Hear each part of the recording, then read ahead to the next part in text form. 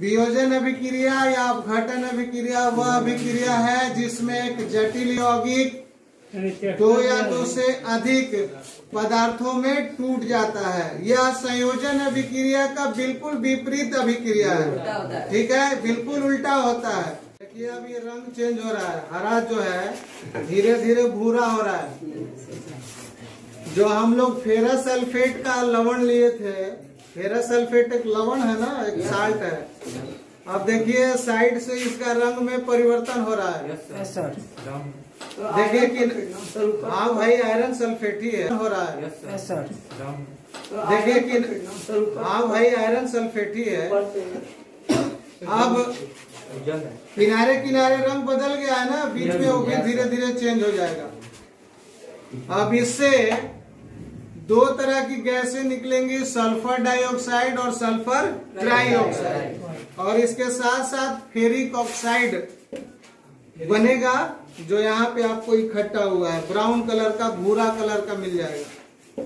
धीरे धीरे हरा रंग का जो लवण था, जिसको हम लोग फेरस सल्फेट कह रहे थे या आयरन सल्फेट कह रहे थे, वह अब फेरिक ऑक्साइड में चेंज हो गया है। भूरा रंग का। हो गया है। दिखाई दे रहा है? अब भूरा रंग होने के दरमियान हम लोग देखेंगे कि इससे सल्फ़र डाइऑक्साइड गैस निकल रहा है। अगर निकलेगा तो वह नीले लिटमस पत्र को लाल कर देगा। तो हम लोग इसको पहले से ही भिंगा लिए हैं। तो भिंगाने के बाद यह लाल हो जाना हो जाना चाहिए। ठीक है? तो इसको हम लोग उसमें प्रवेश कराते हैं। अगर गैस निकल रही होगी तो ज़रूर ये लाल हो जाएगा। यहाँ लाल होने में टाइम जाएगा। अरे यार हल्का लाल हुआ? कुछ परिवर्तन हुआ ना? लाल हो गया। इसका मतलब कि इससे जो गैस निकल रही है सल्फ़र डाइऑक्साइड गैस निकल रही है और साथ साथ सल्फ़र ट्राइऑक्साइड गैस निकल रही है।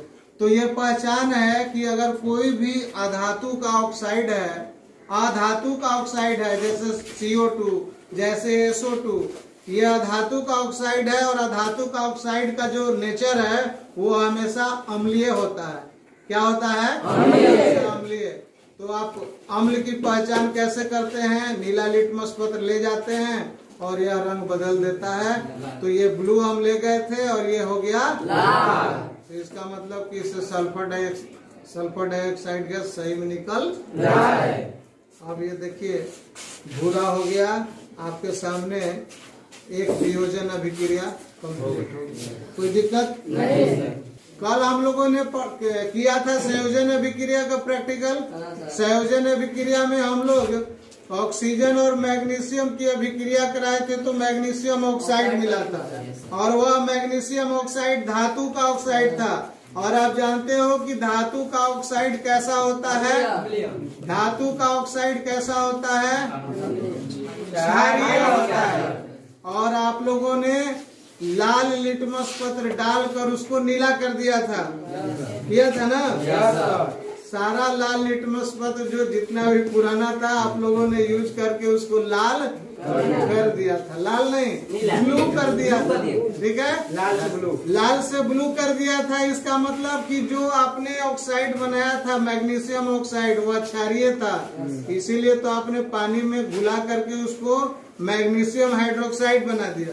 आज हम लोगों ने F E S O four dot seven S two यानी फेरस सल्फेट जिसको हम लोग आयरन सल्फेट भी कहते हैं, उसको हम लोग उष्मा द्वारा तोड़ रहे हैं। ये उष्मीय अपघटन अभिक्रिया है, ठीक है? ये थर्मल डिकम्पोजिशन है।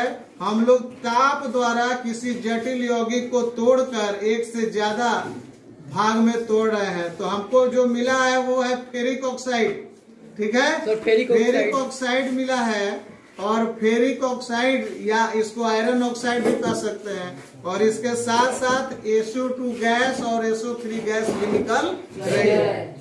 जिसको हम लोगों ने टेस्ट भी किया। और आपके सामने ब्लू लेट ऊपर से निकल जो रहा है। रेड हो गया।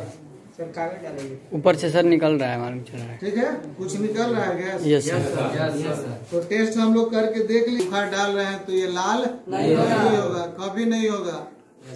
ये लाल होगा ही नहीं क्योंकि इसको भिगाना पड़ेगा। कागज़ डालेंगे तो। कागज़ डालोगे तो क्या होगा? कुछ नहीं होगा। देखिए अब क्या गैस निकल रही है कि निकल चुकी है? खत्म हो गया। टेस्ट कर लिया जाए।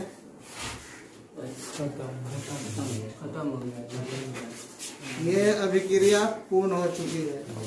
ये अभिक्रिया पूर्ण हो चुकी है। अब सल्फ़र डाइऑक्साइड गैस और सल्फ़र ट्राइऑक्साइड गैस नहीं निकल रही है।